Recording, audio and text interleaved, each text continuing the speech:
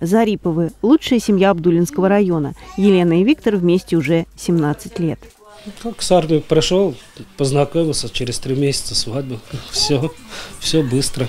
У Зариповых пятеро детей. Самому младшему, Максиму, всего несколько недель. Старшие ребятишки очень любят братика, даже спорят, кому его нянчить. Первенец Елены и Виктора Влад в этом году окончил школу. У парня ответственный момент, выбирает профессию. Валерия Зарипова – будущий дизайнер. Любимое занятие девочки – рисование. За свой талант Лера имеет награды. На асфальте конкурс был. Я заняла второе место с Яриком.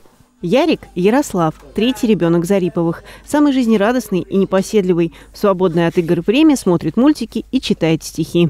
Мы кричали «Мир, победа! Возвращаемся домой! Кому радость, кому беда, кто погиб, а кто живой!»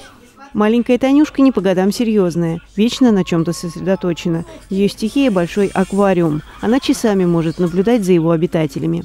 Виктор Зарипов работает директором на хлебоперерабатывающем предприятии. Он сам из многодетной семьи и старается как можно больше времени посвящать своим детям и супруге. Выезжаем отдыхать, и на природу выезжаем, и в Солилецк часто выезжаем отдыхать на недельку. Елена в декретном отпуске, однако времени свободного нет, вся в домашних делах и хлопотах. Парикмахер по образованию освоила еще одну профессию – швеи. Пополняет гардероб своих детей.